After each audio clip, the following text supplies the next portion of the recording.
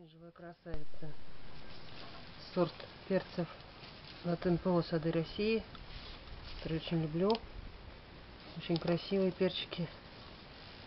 Очень большие. толстые стены, Ароматные.